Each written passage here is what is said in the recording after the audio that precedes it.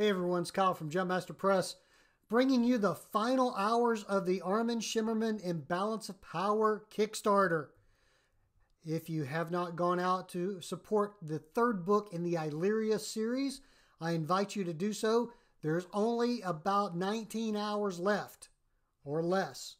So head out to Kickstarter, do a quick search for Armin Shimerman. You'll see it right there. A lot of cool extras, including some signed photos or signed posters of the covers.